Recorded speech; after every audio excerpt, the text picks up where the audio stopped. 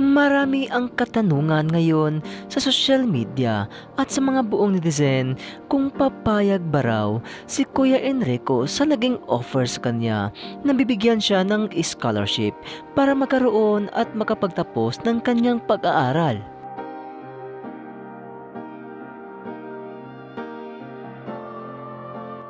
Well mga kadapat ay may nasagap tayo na balita ngunit ang lahat ng ito ay opinyon lamang ng mga netizen at ating pag-uusapan ang naging hadlang o bakit kaya ay posible o hindi imposible na tatanggapin ni Kuya Enrico ang offer na iyon. Well, disclaimer lang po sa mga netizen, lalong-lalo na kay Kuya Ram na hindi natin pinapangunahan ang posibleng mangyayari at reaksyon ni Kuya Enrico at ng kanyang mga kapatid.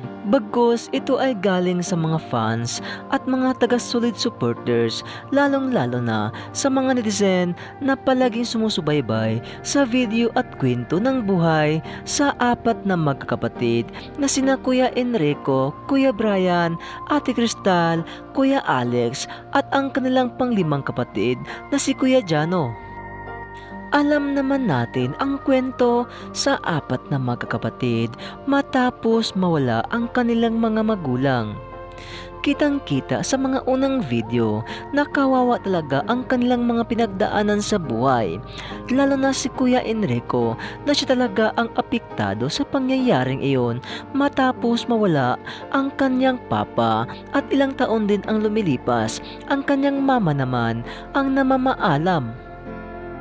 Marami talaga ang netizen ang naantig ang mga puso noong nakita ang kalagayan sa apat na magkakapatid bago pa natin nakilala ang kanilang panglimang kapatid na si Kuya Jano.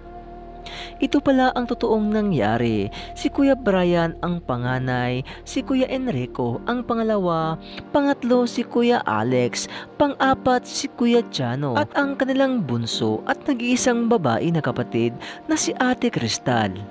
Ikwinento ni Kuya Jano ang mga pangyayari kung ano nga ba ang totoong dahilan ng kanyang paghihiwalay sa kanyang mga kapatid na ayon sa kanya na noong nawala na ang kanilang papa ay medyo magulo na ang kanilang pamilya.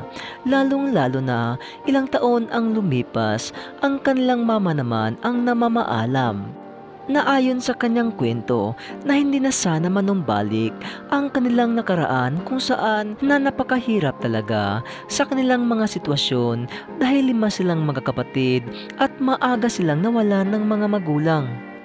Kaya nalulungkot ang kanilang tiyahin at kinukupkup itong si Kuya Jano para makatulong kapag makatapos ng kanyang pag-aaral sa kanyang mga kapatid at dahil na rin sa kalagayan ni Kuya Enrico.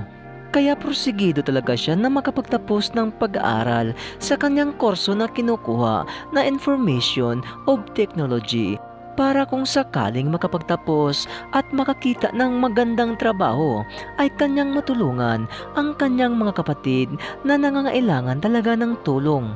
At ang katanungan ngayon ng mga netizen na sana ang offer kay Kuya Enrico na scholarship ay kanyang i-grab pati na rin si Ate Cristal dahil sa balita na si Kuya Alex ay bibigyan at hahanapan ng magandang trabaho pati si Kuya Brian.